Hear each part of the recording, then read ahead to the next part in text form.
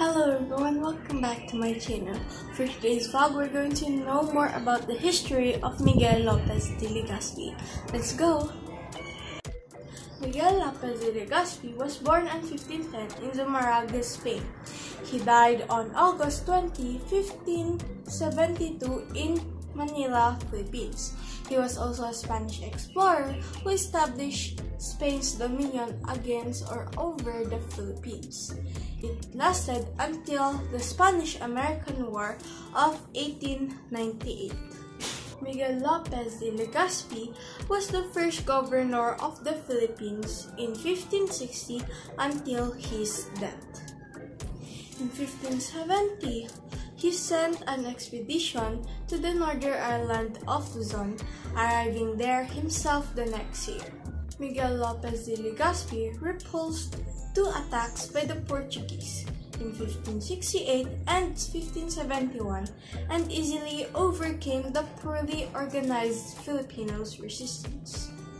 Miguel Lopez de Legazpi is also known as Adelantado and Viejo or El Viejo, or what we call the Elder, was an admiral and governor of the 16th century, the first governor of the Captain General of the Philippines and the founder of the cities of Cebu in 1565 and Manila. Let us watch a short clip of a video that explains more about Miguel Lopez de Legazpi.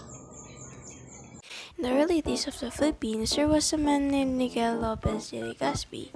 He was from Spain and he was a Spanish explorer that was from Zumárraga, Spain. He died on August 20, 1572. He was also the first Governor General of the Philippines. He received the Cedula Personal. Miguel Lopez de Legazpi received his cedula personal and was an encomendero. Miguel Lopez de Legazpi first visited the Guam in 1565. Miguel Lopez de Legazpi was a colonial in Spain. He was also a Pacific explorer and a conquistador who led the Spanish expedition and that began the colonization of the Philippines and launched the first Asia-American trading line. Thank you guys so much for watching. I hope to see you in the next vlog. Bye!